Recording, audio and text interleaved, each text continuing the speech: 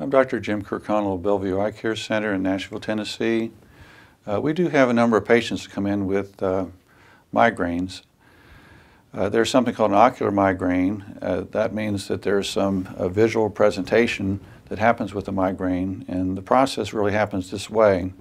We have uh, great vessels of the brain which um, they'll constrict, and we have the visual cortex back here, which is where vision is finally processed.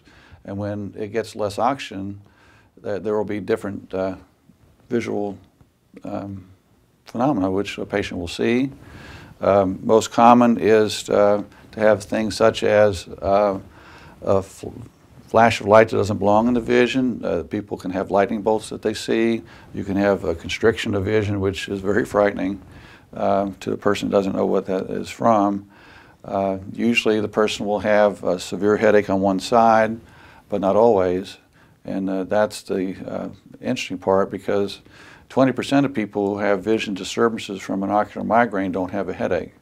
Um, some other things that, that might be seen are uh, showers or spots in the vision or persistent light that uh, is in one spot.